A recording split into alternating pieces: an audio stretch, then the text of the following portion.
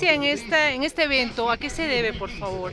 Varias cosas. Primero, yo soy representante del grupo Gildemeister, que dentro de las marcas que tiene, tiene las marcas Motormundo, y dentro de la marca Motormundo tiene este vehículo que es el Brilliance, que es un vehículo hecho en China, costo-beneficio, que está ya usándose mucho como vehículo taxi en Lima y, en, varias zonas del país.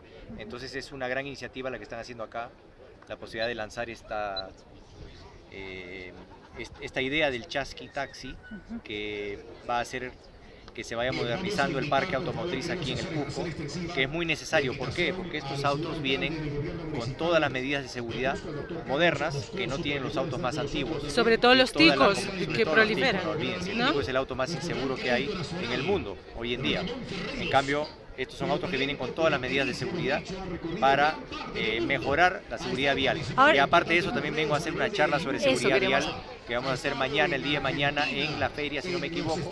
Y es una charla eh, para darles algunos consejos de cómo ser conductores más seguros, que lo necesitamos en nuestro país porque tenemos un grave problema de accidentes fatales y de accidentes graves. ¿Y algún consejo para los conductores por la alta incidencia de accidentes de tránsito y muertes en carreteras? lo primero, el primero que tiene que encargarse de la seguridad es el mismo conductor. El conductor tiene que tomar conciencia de que no se puede correr, no se puede ir a exceso de velocidad, hay que estar muy atento, se cruzan los peatones, se cruzan todos. No es culpa del peatón, el primer responsable es el conductor. Eso es lo primero. Pero lo segundo es tener un auto con medidas de seguridad.